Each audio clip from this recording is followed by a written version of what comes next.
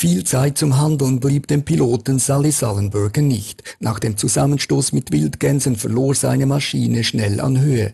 800 Meter, 700 Meter, 600 Meter. Die Lichter New Yorks kamen immer näher, der Fluss musste zur Landebahn werden. Noch 300, noch 200, noch 100 Meter, dann krachte das Heck ins Wasser. Wenig später verließen sämtliche Passagiere das Flugzeug unversehrt. Flug 1549 endete als Wunder vom Hudson River.